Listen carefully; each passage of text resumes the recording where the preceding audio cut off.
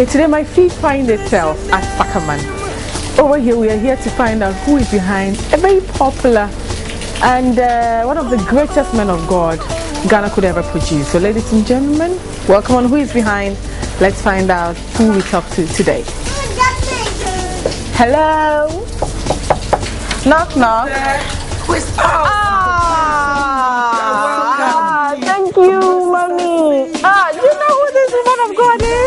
You don't. We'll find out in the interview. Stay tuned. joy I have.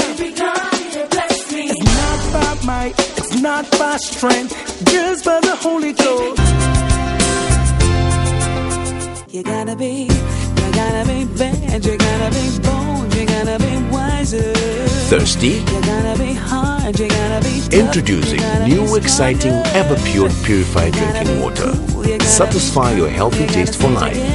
Everpure Purified Drinking Water undergoes a state-of-the-art seven-step process of purification.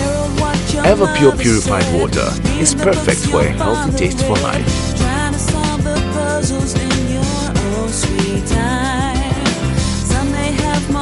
View. Everpure Purified Drinking Water. Available in various sizes. Everpure Purified Drinking Water. Always refreshing. As the sun rises, sunrise soya milk. Delicious, creamy, and non curdling in tea or coffee. Anytime, anywhere. Fully organic. Natural goodness for the whole family. Sunrise organic soya milk. Low in saturated fat, lowest cholesterol. Rice soya milk, full of energy. 100% vegetarian. Contains omega 6 and 3, which helps in mental development. Good source of protein. Enjoy life the way it should be lived. Approved by the Vegetarian Society of UK. Sunrise Organic Soya Milk. Naturally good for you.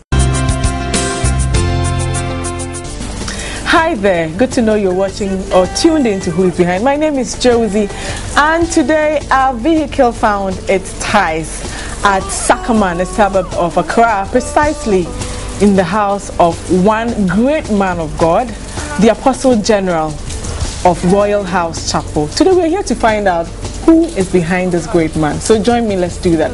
I have with me here Mrs. Sam Korankye beautiful lady. You can't believe this woman is 50 years old. And I tell you, she was all, I mean, worried about her makeup and look and all that. Mama Marita, today we want to spend time with you precisely because um, we believe that the great people of this land that we adore are being held or have backbones who support them tremendously, but we do not know. And therefore, today we are here to find out what exactly do you do in your husband's life. So we'll start by you telling us all about yourself. When we came in here, I have an impression you're a sweet person, yet principled. It has to be done this way. We have to go this way. But very sweet person. Give us a detailed version of who you are. Well, my name is Mrs. Rita Korankye Ankrah. Originally Rita Owusu. Okay. Went to St. Mary's Secondary School. Mm-hmm. From there to Accra Polytechnic. Got married. Then, after age 40, I thought I could do more about myself. I could improve myself. I could empower myself. So I decided to go back to school. So I went back to school, did the first degree At age 40? at age 40. Wow. Did the first degree in entrepreneurship in GIMPA. And then after the first degree, I said, no, I don't think I'm satisfied. I want to do some more. So I went back, did my second degree in governance and in leadership. And I tell everybody, if I get angry, I will go back And do more. a third degree. so that is all about Mama Rita for short, Rita Korankye Ankrah. Okay, mommy, that was a summary. Now I want to broken down into the very pieces uh, we would want to get from you. How did you grow up? Who were your parents? What kind of family background did you have? Was life tough? Was it easy? Tell us about it. Well, I was born some 50 years ago um, on the 23rd of May. And that makes me very special because every May born is a special. Mommy, I'm a match Why? because you're an emerald. You are match born. Yes. Means you're a very intelligent lady. Match borns are very intelligent. Wow. May borns are very confident. Okay. Oh, wonderful. So I was born to Mr. and Mrs. J.K. Owusu. Um, my father worked with African Concrete products, and then my mother worked with Bank of Ghana. Ooh, you had you had a good childhood. So good.